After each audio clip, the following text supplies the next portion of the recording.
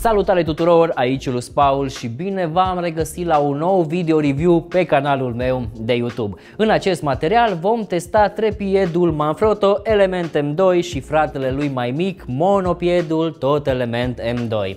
După cum v-am spus și în videoul precedent, cei de la Photo Setup mi-au trimis mai multe trepiede pe care să le testez, ca într-un final să-mi dau seama care este cel mai potrivit pentru mine. De aceea am făcut și video review pe canalul meu de YouTube ca să vă ajut și pe voi. Și sincer să vă spun, încă nu m-am decis ce trepied să cumpăr, deoarece toate mi s-au părut foarte faine și de foarte bună calitate, cel puțin cele trei din seria B-Free pe care le-am testat, însă ce m-a surprins foarte tare a fost tocmai acest trepied Manfrotto Element M2, care are un preț de achiziție extraordinar de bun. Și sincer să vă spun, mi-am pus un semn de întrebare. Oare cumva Manfrotto a făcut rabat de calitate când a conceput acest trepied? În condițiile în care majoritatea produselor lor sunt premium și sunt la prețuri foarte mari, când am văzut acest trepied, m-am gândit, hopa, ceva se întâmplă, ceva s-ar putea să nu fie bine. Însă, după ce l-am testat câteva zile, am ajuns la concluzia că de fapt nu este niciun fel de rabat la calitate, ci singurele diferențe sunt anumite funcționalități mai limitate. Iar având în vedere că acest trepied este destul de ușor și de compact, am ajuns la concluzia că este varianta optimă pentru cei care doresc să călătorească și mai ales pentru cei care doresc să-și facă singur fotografiile acasă pentru content de social media, de Facebook, de Instagram și așa mai departe. Probabil că ați ajuns la acest video să vedeți acest review deoarece v-ați gândit să achiziționați acest trepied. Sfatul meu este unul foarte simplu și încă de la început merită, mai ales că prețul este foarte bun. Dar hai să îl studiem în detaliu ca să vedem despre ce este vorba. Trepiedul Manfrotto Element M2 are o greutate de 1,55 de kg.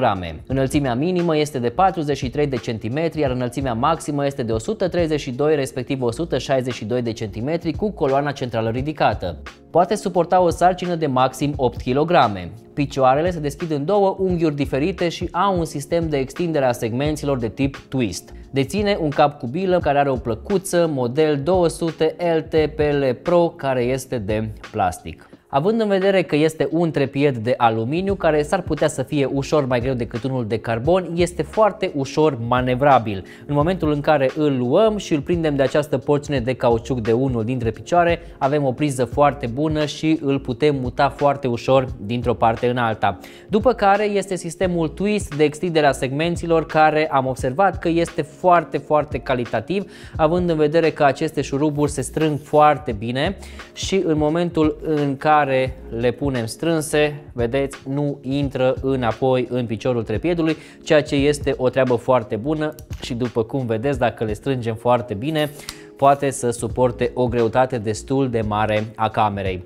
Un alt aspect frumos este și designul care mi se pare că este mai modern și bineînțeles se asortează cu o geantă frumoasă în momentul în care îl atașați de un rusac. Desigur avem și partea de extindere a picioarelor, pur și simplu avem aceste cleme argintii în partea de sus. În momentul în care dorim să modificăm unghiul picioarelor, pur și simplu lăsăm puțin în jos, învârtim de rotiță și atunci piciorul se ridică mai sus și desigur putem să le ducem și peste cap în momentul în care îl punem în poziția a treia, practic noi putem să îl dăm peste cap, dar desigur va trebui să ridicăm coloana centrală, da? să ridicăm piciorul în acest fel, după care el se transformă într-o variantă foarte, foarte compactă care desigur poate fi, cum vă spuneam, atașată de un rusac sau poate fi pus în geanta lui de transport. După cum vedeți, are o dimensiune redusă, ceea ce îl face foarte, foarte portabil. Apoi avem partea din capătul picioarelor, partea de cauciuc, care îi oferă o priză foarte bună pe orice tip de teren. Trepiedul Manfrotto Element M2 vine echipat cu un cap cu bilă de dimensiuni reduse, foarte compact, dar în același timp foarte rezistent. Având în vedere că susține 8 kg, nu ar trebui să vă faceți griji indiferent de ce cameră veți pune pe el. El seamănă foarte mult cu modelele 494 și 496, cele care echipează trepiedele din seria B-Free, însă pe lângă funcționalitățile foarte similare sunt și câteva limitate. Dar mai întâi hai să vedem cum funcționează. În primul rând, dacă desfacem rotița cea mică, putem putem pune camera oriunde dorim noi pe orizontal, adică o putem muta 360 de grade. Desigur, mișcarea nu e la fel de fină ca și în cazul în care folosim un cap fluid, dar dacă aveți puțină dexteritate, puteți să faceți și câteva panoramări video. După care avem rotița din dreapta, cea care eliberează capul cu bilă și putem pune camera absolut în orice unghi dorim noi.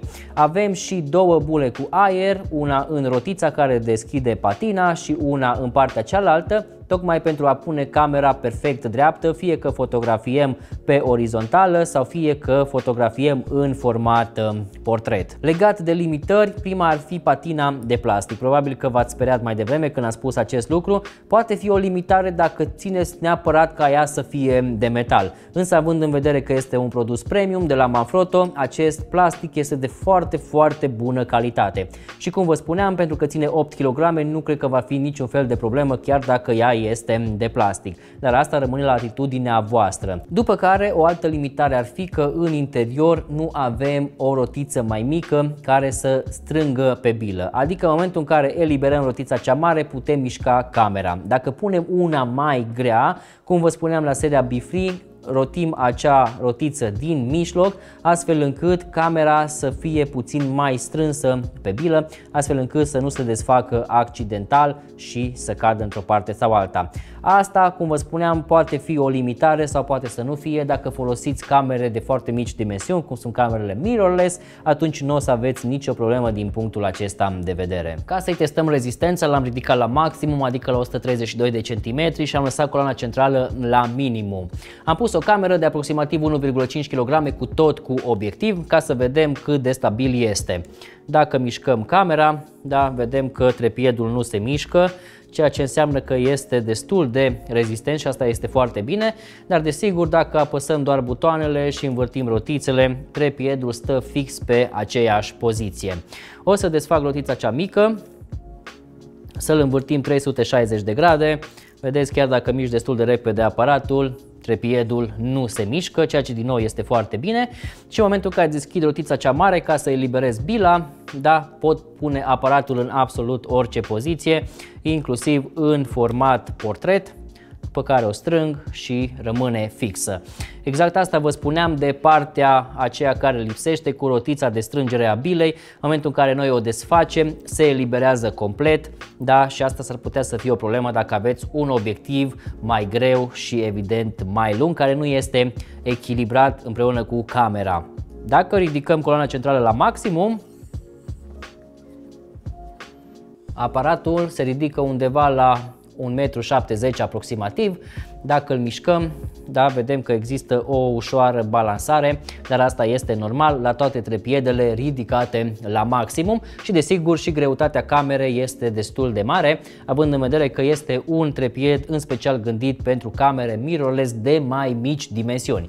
Desigur, dacă am dorit să filmăm, acest lucru nu ar fi ok, însă fiind dedicat un trepied pentru foto, în momentul în care doar apăsăm butoanele de pe cameră, dar nu este o problemă faptul că ea se mișcă foarte puțin. Și am pus coloana centrală cu capul în jos, astfel încât să putem face fotografii top view. Am pus și camera, după cum puteți vedea, chiar dacă o mișc, trepiedul este la fel de rezistent ca și în poziție normală. Monopiedul Element M2 are o greutate de 0,5 kg.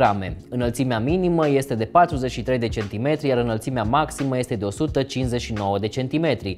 Poate suporta o sarcină de maxim 15 kg și are un sistem de extindere a segmentului de tip twist. Monopiedul Element M2 de la Manfrotto este la fel de bine construit ca și fratele trepied din aceea serie. Are un mâner de cauciuc pentru o priză foarte bună, iar faptul că are doar 500 de grame îl face ușor de transportat și mai ales de folosit. Desigur avem și această coardă pentru mai multă siguranță.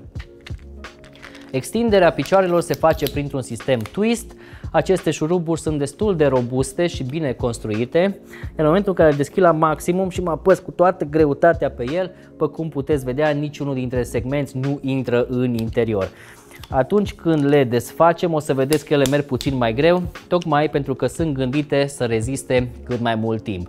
În partea de sus avem un șurub 3x8 care în interior prin apăsarea lui, are un șurub 1 pe 4. Practic noi putem atașa direct un aparat foto sau un teleobiectiv care are patină pentru trepied și desigur putem face fotografii cu timp mai lung de expunere. Sau putem atașa un cap fluid dacă dorim să facem și partea de video. Să nu uităm designul foarte plăcut care îl face din nou foarte atractiv. În concluzie, după cum vă spuneam și la început, seria Element de la Manfrotto este de luat în considerare, mai ales că este calitate premium la un preț foarte, foarte bun. Fie că sunteți fotograf care călătoriți foarte mult sau sunteți fotograf care vă faceți propriul content pentru social media, dacă alegeți un trepied Element sau un monopied, este un companion foarte bun pentru voi. Eu v-am lăsat un link în descriere către Photosetup de unde puteți achiziționa aceste două produse.